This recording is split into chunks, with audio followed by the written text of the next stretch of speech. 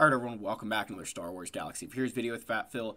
And I do apologize if my voice sounds a little bit off or if I'm sniffling. Uh, thank, thankfully, I am gonna survive.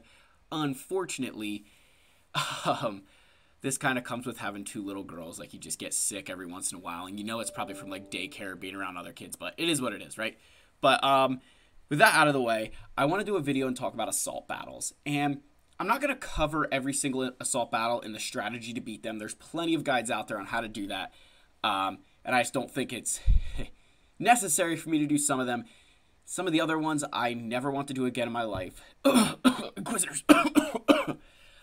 um, so, anyway, let's talk about assault battles. But I want to give a huge shout out to my channel members. As always, you all are fantastic. Thank you so much for your continued support of this channel. If anybody else is interested joining channel memberships, Link in the description down below. Otherwise, subscribing, that's free and it helps this channel so much. So just give the video a thumbs up for that like, leave a comment, and subscribe, subscribe, subscribe. We want to hit 10,000 subscribers. That would just be, that'd put me over the moon. So let's keep on going. All right. So we'll talk about, we have the Fanatical Devotion Assault Battle right now. And I have not claimed my rewards yet. So we'll talk about the rewards. We'll kind of talk about some of the other things you can do in Assault Battle. So just to kind of get through a few things first, right? So, one of the things you want to keep in mind your return on investment for assault battles is years. The, they're not going to give you that return on investment right away. They're not something that like you build for and then you're like, wow, I've gotten all these things that, you know, this made it completely worth it for me to do this. Like, that's not the way assault battles work. It's going to take you years and years to accumulate the resources that you spent to complete that assault battle. It's just it's the way it works. And that's okay, right? We don't like you don't need to get all those resources all at once. There's something that you know, you think of them as a bonus or passive income, right? Um, you know, you think about you go to a job and they give you your starting salary, salary or your hourly wage.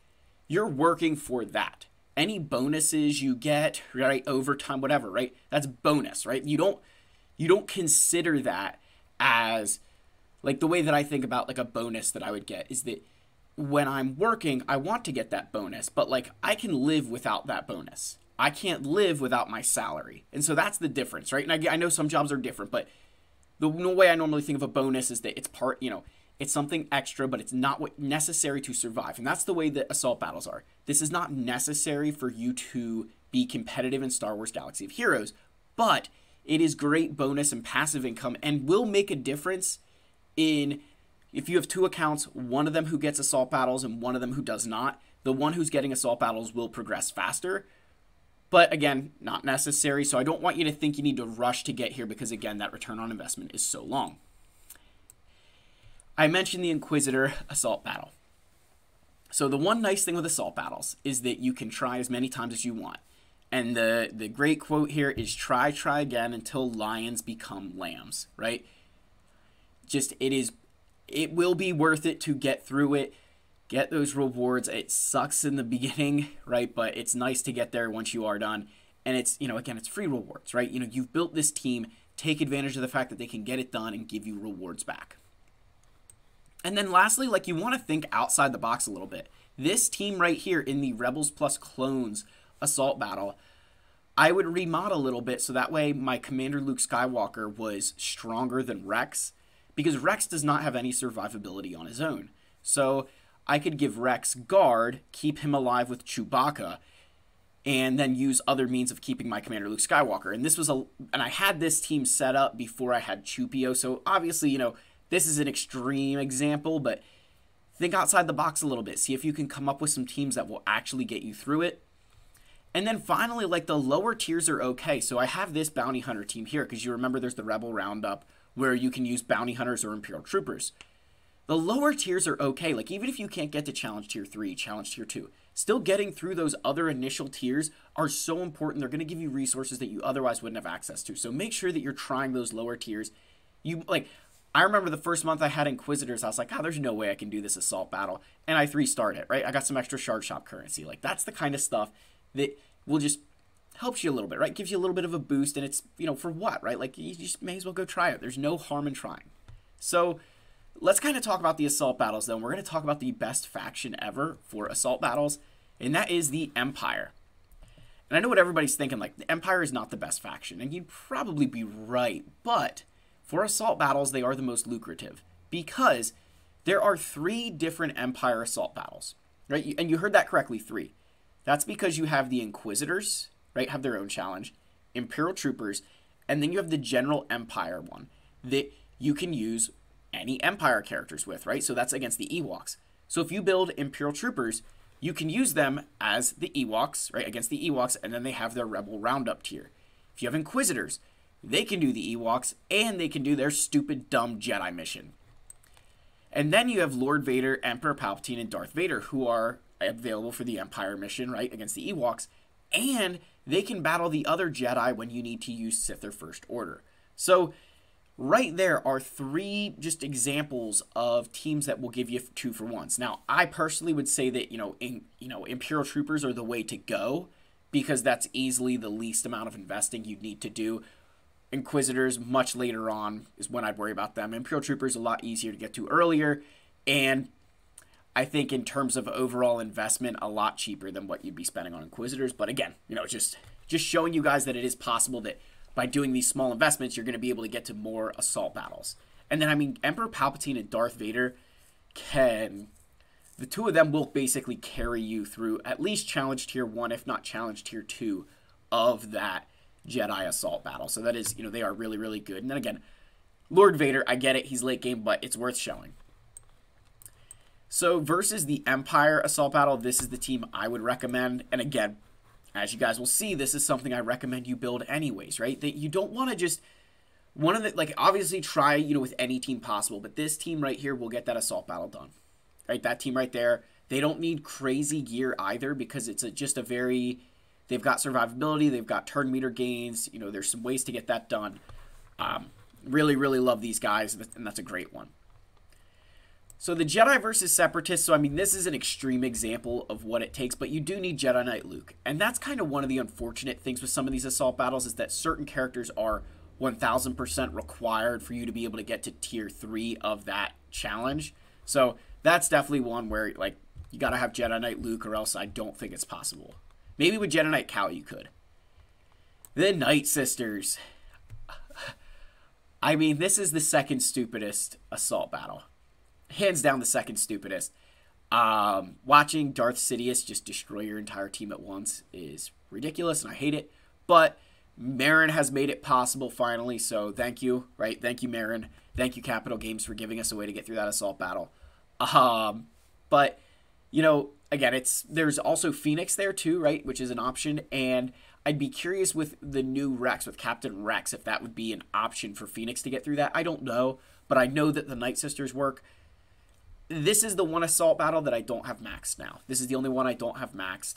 Um, really coming down to just gear, right? I don't have the gear to get through that. I would love if I could get the gear to do it, and maybe when I get Merrin and I gear 12 her, because I will I will invest in Merrin once I get her to seven star. Um, I'll try that and see what I can do. But yeah, you need Merrin here. Otherwise, you can get through some of the earlier tiers with just uh, you know OG Night Sisters, but you need Merrin if you want to do anything important in that assault battle. So versus Jedi, finally, then right like that, you know, Sith one.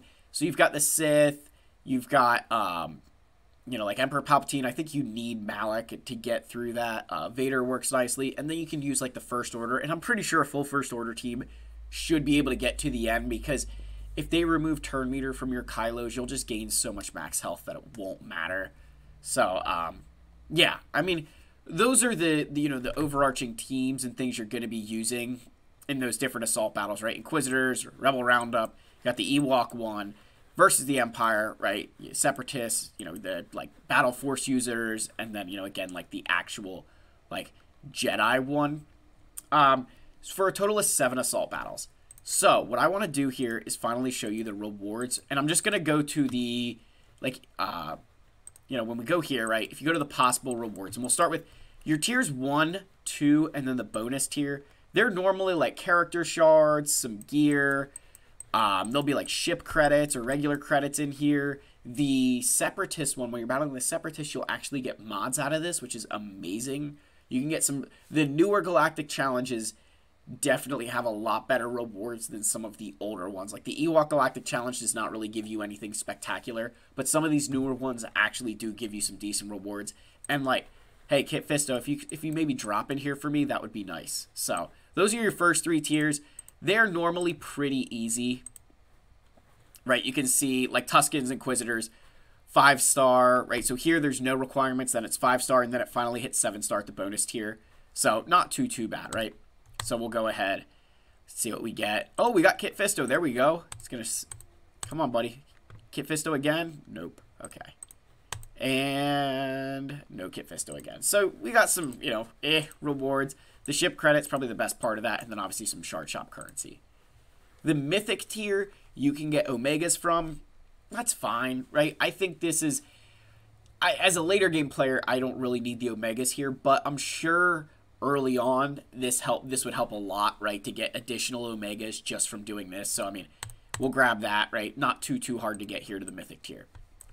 All right, challenge tier 1. This is the first what I'll call milestone tier. When you can start doing challenge tier 1, that's your first milestone tier. That's the first time that you're really going to feel like you're getting some solid solid rewards out of the assault battles, right? Because you're getting some injector salvage, which isn't like you know, you're going to get a lot of this because of these things, but it is nice, right? You know, you can't deny that it's not good to have those things. Then you're also going to get Kyrotechs, right? 10 of each Kyrotech. And remember, I said there's seven assault battles. So just think if you can get to challenge tier one every single month, that is seven, uh, that is 70 total shock prods, 70 total computers for a total of 140. Now, you're going to get this every single month. So you multiply that over the course of a year, two years, three years. You get the picture that it's a lot of stuff over a very long period of time. So that's why I say that return on investment is years, because eventually you're going to get a lot of stuff from these assault battles. Just, it's not going to happen overnight. You're not going to notice it for a very long time. You'll also get some Zeta materials here, which that is really good. I will say, like, that is that is awesome to be able to get Zetas out of this. Um, seven of those, right? You know, it's not you're not getting a full Zeta a month, but again, over you know period of time, you're gonna get a lot of Zetas out of this that you wouldn't have gotten otherwise. So it's really nice. So we'll do this challenge tier one here, and again, those rewards are always the same, right? You notice in some of these other ones here, like we got those rewards there. You notice in like this one, it shows 0 to 10, 0 to 10, right? You know, you could get some of these rewards, right? It's not going to give you every single one of these pieces. The challenge tier 1, you will get every single one of these things. Now, challenge tier 2 and challenge tier 3. These both award the same exact things, just challenge tier 3 being much more difficult than challenge tier 2. So, uh, challenge tier 2, you're going to get 3 blue signal data, 3 green signal data, 5 white. You're going to get 3 electrium conductors, 5 aurodium heat sinks, 10 chromium transistors, 10 bronzium wiring, and 10 carbonite circuit boards, which is then repeated for challenge tier 3. So, in terms of what the amount of signal data, other stuff you spent to unlock these challenges, I mean, you're looking at years. Truly looking at years. Like, just for the sake of argument, you're going to get, what, 72 of these over the course of a year if you do each of these tiers, right? That you get one of them a month, 36 for each tier is 72. That's not even enough for a single Relic 7. So you're looking at over five years of playing this assault battle for Inquisitors before you've earned back the blue signal data that you spent to get here for, you know, those characters. I mean, that's just, that's a long time, right? That's a long, long time. Uh, and you haven't even made up your green or white by that point yet either. So, you know, take that for what it's worth. Because remember, you got to do that for every single Inquisitor in your roster. Um, so yeah, you know, it's good rewards, but it's not something, you know, you think about that. That five year example is a really good one that, you know, if you're spending a lot of resources, it's going to take you a very long time to end up actually coming out ahead with these assault battles. So we'll finally sim these last two tiers, collect our rewards. Thank you so much. I will never do you again. I hate you so much, Challenge Tier 3. You are a cancer to this game. You are terrible. You are terrible. I hate you thank you for my rewards. So yeah, guys, that's just my overview on assault battles, kind of talking about the importance of them, some of the things you can do, the teams, and most importantly, I think just understanding that I would not recommend trying to rush to get to each of these things because of how long it's going to take you to actually make back those rewards. But it is something that you know you can think of as a bonus for being able to complete all you know being able to gear up all of those characters. So that's the end of this video. Like and subscribe, comment down below, and I'll see you on the next one. Cheers.